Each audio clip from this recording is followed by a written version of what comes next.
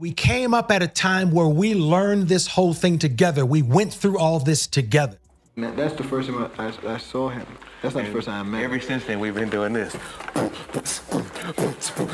at clubs all over the country. Eddie don't want to fight me. I got hands. I, I, this furniture start moving, Jimmy. He don't want to fight me. It appears that Arsenio Hall, a longtime admirer of Eddie Murphy, is once again standing up for his friend. Amid recent alleged claims made by Eddie Murphy regarding Hollywood's undisclosed secrets, there have been reports suggesting that he is facing blacklisting from the industry. Reportedly, Arsenio Hall has stepped forward, issuing a warning to those potentially involved in such actions. I don't know what's going to happen now because I suggested to him, I said, you know, they have a drive in here and you can do stand up and people blow their horns when it's funny. Eddie Murphy and Arsenio Hall share a bond that transcends their incredible on screen collaborations. They are best friends in real life. Their friendship spans nearly four decades, originating from their days as aspiring comedians in Los Angeles. Introduced by the legendary Keenen Ivory Wayans, their connection has remained unbreakable, offering unwavering support through life's triumphs and tribulations. Keenen Wayans called me and said, Why don't you meet us at the improv? Because Keenen's a New York comic and they were friends with Eddie. And he said, Damon, my brother is coming. You haven't met Damon. You got to. The comedic synergy between Murphy and Hall has birthed some of cinema's most legendary moments. Thus, when the time came for Eddie Murphy's induction into the NAACP Hall of Fame, Arsenio Hall gladly took on the responsibility of honoring his friend. Both Murphy and Hall are esteemed figures not only within black culture, but also in the annals of comedy history. Keenen heard that story and introduced us. And the first thing Eddie ever said to me in, in Murphy fashion, he looked at me and he says, You don't look like me. Beyond their on screen chemistry, Eddie Murphy and Arsenio Hall share a genuine and enduring friendship. Their bond extends far beyond the spotlight, as evidenced by Arsenio's role as the godfather to Eddie Murphy's eldest daughter, Bria. This significant gesture underscores the depth of their connection.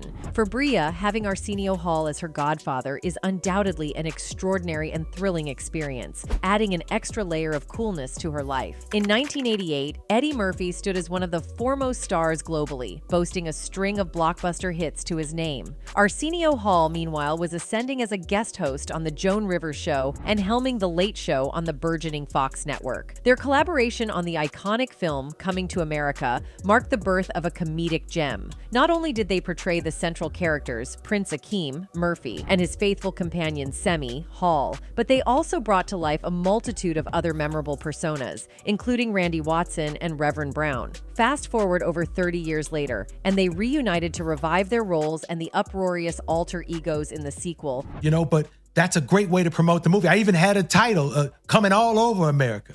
And I thought that would be yeah. a perfect title. And he loved that. Coming to America. Indeed, beyond their iconic roles in the Coming to America franchise, Eddie Murphy and Arsenio Hall shared another comedic triumph in the classic film, Harlem Nights. One particularly memorable scene involves Quick, Murphy, being pursued as a suspect in the M of Tommy Smalls, the muscle man of a rival gangster. Hall's portrayal of Smalls' grieving brother not only showcased his comedic talent, but also delivered one of the film's most hilarious moments. Hall's performance, particularly his epic crying and comical handling of his partner's diminutive firearm, was certainly deserving of recognition, perhaps even an image award of his own. That's basically what the movie's about. And I in you. He's not for real.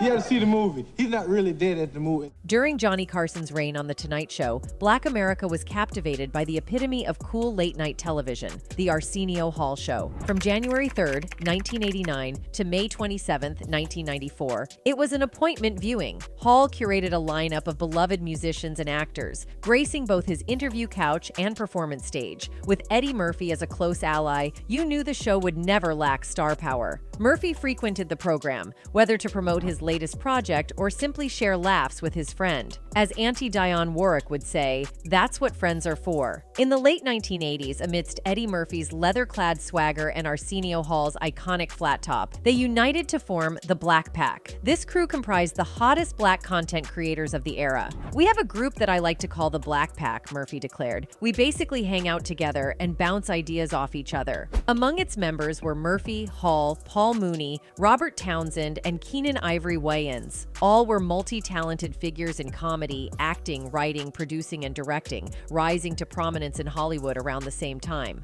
Each has since become an icon in their own right. Plus, let's be real, the name Black Pack exudes unparalleled style, and this time Hall is proving that Eddie cannot be blackballed from the industry at any cost. Protecting the dignity and legacy of black comedians is a collective endeavor that transcends racial divides. Trailblazers such as Arsenio Hall have shouldered this responsibility, working tirelessly to uphold the esteem of black comedic talent. Yet, there are emerging reports indicating Hall's disillusionment with these efforts. He appears to feel disheartened by what he perceives as setbacks, particularly citing figures like Tyler Perry, whom he believes may compromise the strides made within the community. I'm black. I'm black, man. I'm the biggest minority you know about. I don't want to hear that gay trash, man. I got gay friends I've had on the show because you don't know them or it ain't who you want on the show. You got a problem with it? In the early 90s, a time when many black comedians drew inspiration from the legendary Richard Pryor, Arsenio Hall distinguished himself by blending his unique comedic style with broad appeal. His infectious smile, vibrant personality, and insightful take on life resonated with audiences of diverse backgrounds, making his humor universally relatable. From 1989 to 1994, during the initial five year run of his nationally syndicated show, Hall offered a platform for the black community that was notably absent in late night television. Through his show, he amplified voices and perspectives that were frequently overlooked elsewhere, cementing his place as a trailblazer in entertainment. This is, this is cable, so I can say it like I really felt. That's a plain boy. That's what I really felt, you know? Magic, you see him do people when they During the era dominated by Jay Leno, Johnny Carson, and Conan O'Brien, the Arsenio Hall Show played a pivotal role in elevating artists of color to a wider audience. In the late 1980s and early 1990s, hip hop culture struggled for representation, often limited to a brief segment on shows like Yo, MTV Raps. Despite the emergence of influential figures like NWA and Tupac, their visibility was hindered by mainstream media's tendency to sensationalize and misrepresent them as controversial figures. However, Arsenio Hall's show broke barriers by providing a platform for black artists such as Eddie Murphy, Michael Jackson, Will Smith, and Snoop Dogg to showcase their talent and express themselves authentically on national television without fear of censorship or apology. What do you hate most about show business?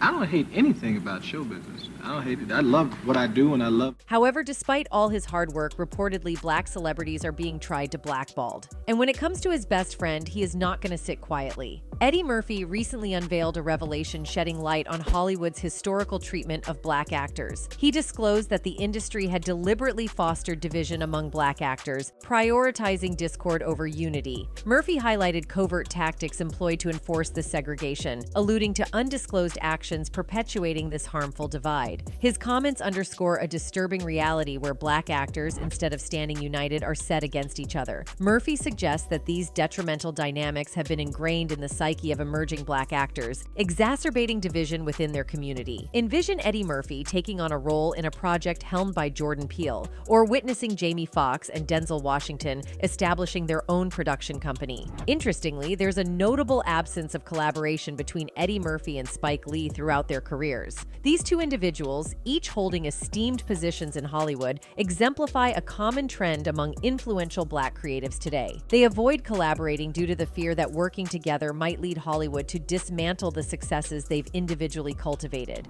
to make it, you gotta you gotta be re- re- relentless. You gotta persevere. You gotta be focused. Numerous theories reveal that Eddie Murphy has been part of over 50 movies in under five years, and only a fraction of those involve a black director. This apprehension, which underscores the industry dynamics, might explain the absence of a collaboration between Spike Lee and Tyler Perry on a project. A similar sentiment could be behind the fact that Will Smith and Denzel Washington have not joined forces for a series of films, mirroring the dynamic seen with Al Pacino and Robert De Niro. Yeah. Yeah, it was, it was, it was wise. Especially that we are meeting kind of for the first time. That's important. So, yeah, that does help. The underlying reason for Spike Lee and Eddie Murphy's lack of collaboration seems to run deeper. In the current moment, a global awareness has emerged regarding the vulnerability of Black lives, attributed to systemic issues that have generated troubling outcomes. With the amplification of the Black Lives Matter movement, an increasing number of individuals are recognizing the need for transformative change, starting with the empowerment of economic influence. The president of the Canadian Black Chamber of Commerce says mm-hmm. more businesses are seeking her help. This shift in awareness has prompted a widespread desire to back Black owned businesses, thereby fostering the circulation of wealth within the Black community. The significance of supporting such enterprises, though newly emphasized, is not an entirely novel concept. In Power Dynamics, a book authored by Dr. Claude Anderson, the value of analyzing spending patterns among Black Americans is discussed. Ultimately, the narrative underscores the critical significance of maintaining black funds within black control. Black folk don't uh, fail to understand that the original that schools are not change agents. They're mm -hmm. only doing what the environment wants it to do. Schools in this country started in the, in the 1860s were designed. This leads us to Spike Lee's emergence in the early 1980s as he embarked on crafting his own identity in the industry. During this time, he openly criticized not only Eddie Murphy but also other black individuals within Hollywood for failing to establish pathways for others akin to themselves. In a 1989 interview with Rolling Stone, Murphy offered his response to these allegations. Spike Lee had expressed his belief that Murphy might have overlooked using his clout to advance the presence of black individuals in influential roles, particularly within Paramount. Don't you think I realize what's going on here, miss? Who do you think I am, huh? Don't you think I know that if I was some hot shot from out of town that pulled inside here? He further said, they were to me on Saturday Night Live a couple of times after I'd left the show. They said some things. I made a stink about it. It became part of the folklore. What really irritated me about it at the time was that it was a career shot. I felt about it for years, but now I don't have none of that. Eddie Murphy and Spike Lee seem to adopt distinct approaches in addressing racism within Hollywood. Interestingly, during the production of Do the Right Thing, there were instances of Murphy visiting Lee on set. However, in a 1989 appearance on the Arsenio Hall show, Murphy playfully extended their friendly rivalry by humorously referring to Lee as a cricket, adding another layer to their dynamic. I love Spike Lee. Mm-hmm. I seen Spike come on the show last week, and women said, Wah! And Spike looks like a cricket. A year later, the two men engaged in a direct conversation regarding their respective stances. Their viewpoints seemed to align with the different approaches of Martin Luther King and Malcolm X. In a one on one interview featured in Spin magazine, Lee and Murphy delved into their ongoing feud. Lee expressed the notion that Eddie Murphy had the potential to exert greater influence toward change. He's a brilliant filmmaker. His movies are brilliant. He's, he's hysterical. He's, he's wonderful on camera. But Spike is not fine. During the middle of the interview, Murphy openly shared his candid perspective on why he believed there was a lack of collaboration among black individuals in Hollywood. Because I think black people aren't the most unified people on the face of the the earth. We got to get everybody's schedule together.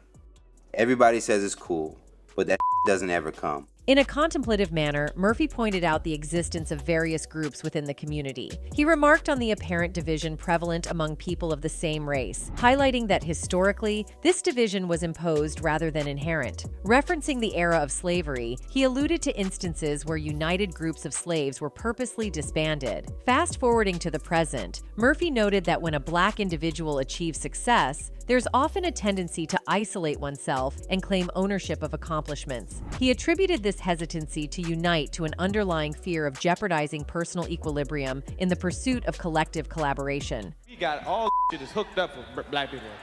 Chinese people all around because they got little and little asses. Murphy emphasized that this inherent division isn't a conscious choice, but rather ingrained. He underscored that this fearfulness was a product of the apprehension white individuals have towards black individuals. Recounting a personal encounter, he shared an incident involving Mike Tyson. During a gathering at Eddie Murphy Productions, Murphy found himself in the company of Mike Tyson and Don King. Reflecting on his workplace, where his managers were the only white employees, the trio delved into a discussion about white people and government matters. Strikingly, the conversation took a whispered tone a phenomenon Murphy attributed to the deep seated apprehension that the influence of the white man had instilled, leading even to discreet discussions within one's own abode. They doing it. Up the way they walk. They be walking all light because they ain't got no shit pulling them down. The long awaited classic interview emerged as an opportunity for both individuals to address the misunderstandings between them. However, more than a decade passed before any indications of their potential collaboration came to light. It was during this time that Spike Lee secured a role in a James Brown biopic and contemplated enlisting Eddie Murphy for the project. Regrettably, Lee's involvement was short lived as he was eventually replaced by director Tate Taylor. So his balance, he be doing all this. Skipping ahead to 2014, Chadwick Boseman took on the lead role in the movie instead of Eddie Murphy. Despite the ongoing absence of a film collaboration between Murphy and Lee, discussions have persistently surfaced. In 2011, it was reported that Murphy was lined up to portray former DC Mayor Marion Barry in a biopic directed by Spike Lee for HBO. However, Spike Lee changed his intentions and did not go with Murphy. Notably, Murphy's earlier observations about the unconventional dynamics for black individuals in Hollywood prompted efforts towards the establishment of a genuine black Hollywood scene. Every time you see a brother in a wheelchair, he ain't always crippled. You got this hanging down. Back in 1988, an article by Paul Mooney in the Los Angeles Times unveiled Murphy's, Robert Townsend's, Keenen Ivory Wayans's, and Arsenio Hall's endeavor to unite under the banner of the Black Pack. The specifics behind the dissolution of this initiative remain unclear, but Murphy's conversation with Spike in Spin magazine offers a glimpse into why the collaboration may not have endured. With the backdrop of societal protests unfolding on the streets, the current juncture invites contemplation on transitioning the protest to the realm of filmmaking. It raises questions questions about addressing racism, whether through a subdued or vociferous cinematic approach. Even they did have some skills, they were still enslaved. However, Eddie's fans have supported him with every possible power. One of them wrote, They always want to try and make us feel less than, but we shall keep overcoming all hardships brought upon us. We must not get upset and angry and continue to overcome certain groups of people constantly punching down on us. These people are in need of feeling more than what they really are. Another one added, Sad everyone going after black authors that have shared the horror and hope of people that were sold by Africans to a foreign land and then generations excelled in face of evil. Hope is not encouraged in this decade. Furthermore, over the years, many black comedians have chosen to wear dresses in pursuit of laughter. The juxtaposition of a towering presence in heels creates an inherently ludicrous and consequently humorous visual, yet the implications run deeper. This trend has seen numerous black male comedians embracing cross-dressing for comedic effect. What is the price of this comedy rooted in cross-dressing? As Dave Chappelle said, certain dots, like when I see that they put every black man in the movies in a dress at some point in their career, I'll be connecting them down like, wow, these brothers gotta wear a dress. During a recent appearance on Oprah's show, comedian Dave Chappelle raised a thought provoking query. He pondered the prevalence of accomplished black male entertainers resorting to cross dressing during some phase of their careers. Notably, Martin Lawrence achieved recognition for his lead role in the Big Mama's House series. Similarly, Eddie Murphy included a female character among the array of roles he undertook in his Nutty Professor film series. This happened to me. I'm doing a movie with Martin. Yeah. The movie's going good. So I walk in the trailer. I'm like, man, this must be the wrong trailer because there's a dress in here. Jamie Foxx left his mark with the unforgettable Ugly Wanda persona on In Living Color, whereas Marlon and Shawn Wayans embraced gender reversal for their roles in White Chicks. Additionally, the ill-fated Juwanna Mann movie from a few years back remains a chapter we may wish to put behind us. I'm here! Ooh, that girl get around.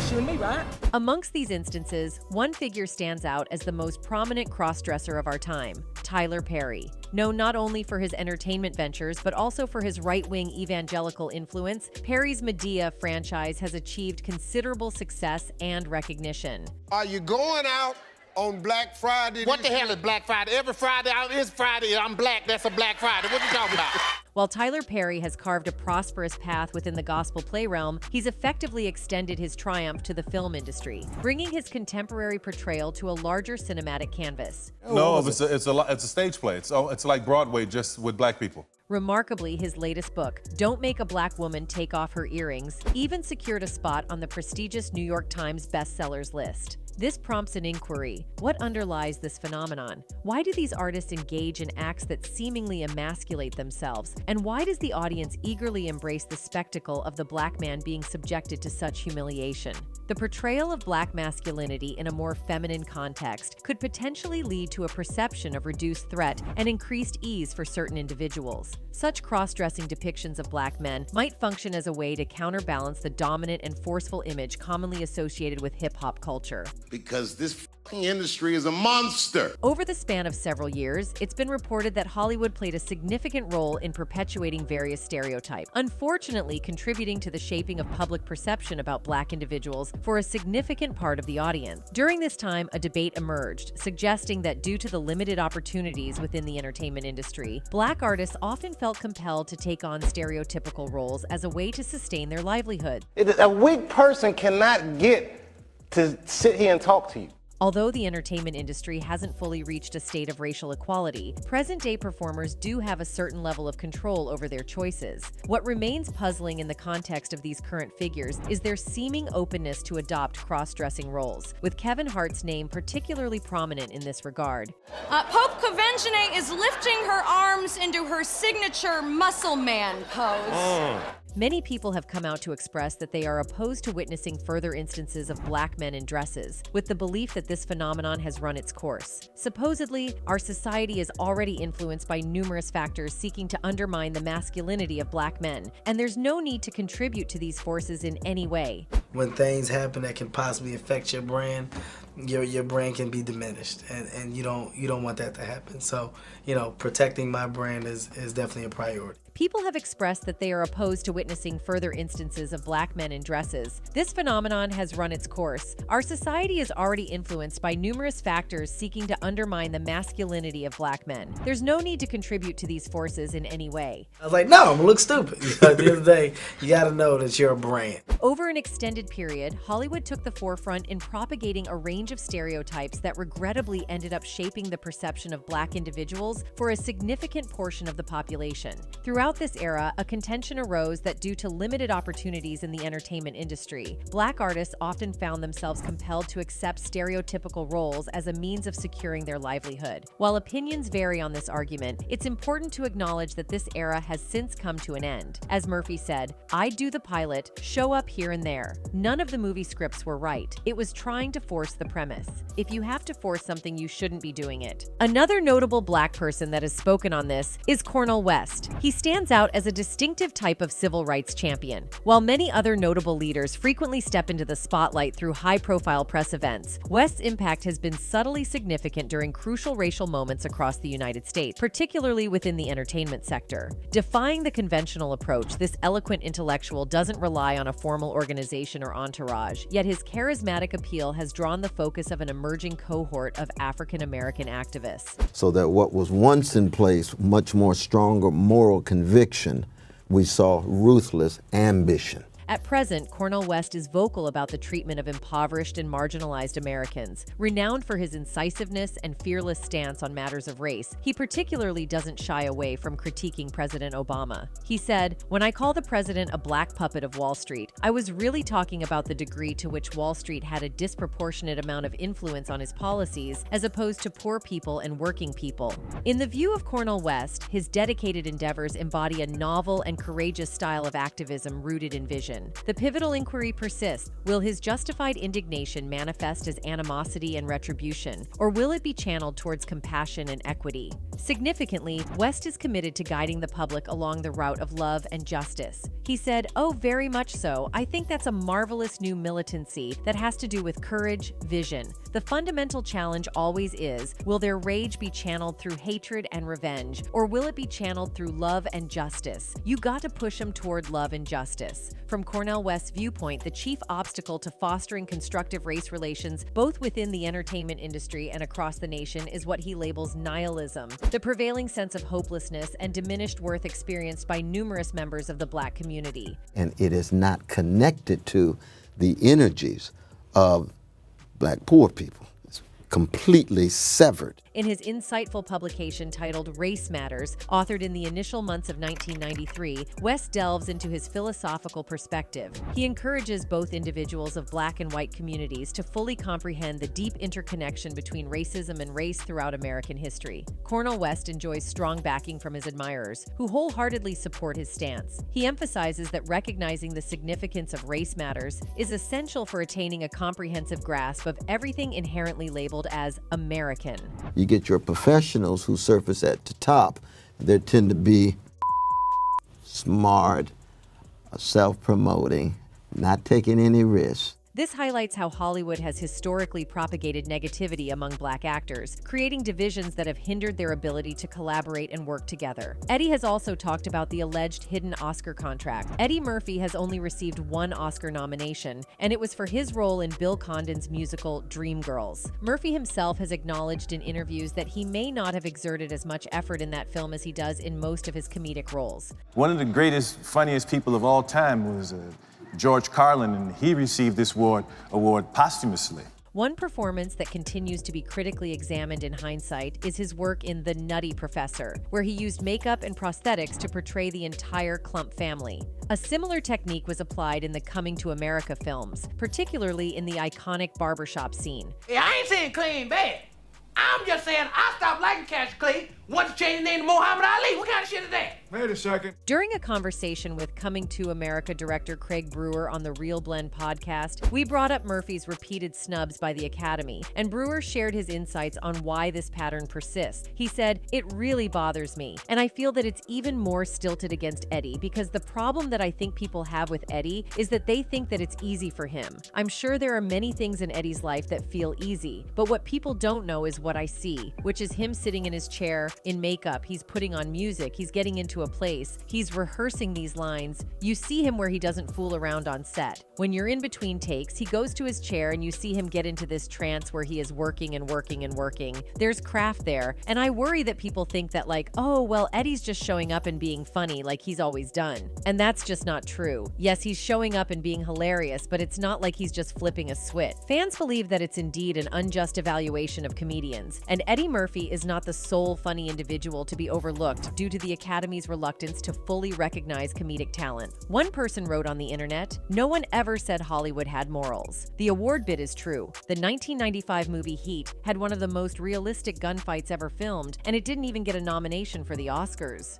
Another one added, For award shows, it's also about campaigning and which studio will spend the most money to wow the jury, like Weinstein famously did. And you didn't talk about the pedophilia problem concerning chid actors. These sources suggest that the hidden powers of the industry are trying to blackball Murphy. However, it seems like Arsenio will never make this happen to his friend. That's it for today. See you in the next video. Until then, goodbye.